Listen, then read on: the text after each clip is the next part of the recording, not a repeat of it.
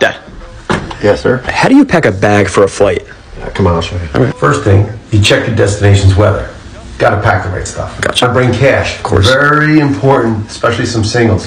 Right. Gotta take care of people along the way. Right. Underwear in the shoes. Whoa. Belt in the shoe. All right. Socks in the shoe. Of course. Make sure if you're packing, in this case, suit jacket or jacket, you bring a garment bag. Okay. This bag does both garment and duffel bag. Okay. Shoes go in the bottom, toe to heel. Oh, pack it in there.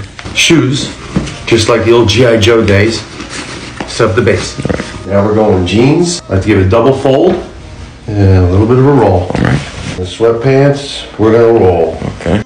T-shirts Okay. go on top. Yep. Got my jackets, and they go on top because if I need to grab them when I land, Right. they're right on top. Smart. If they neat, ready to go. All right. Thanks, man.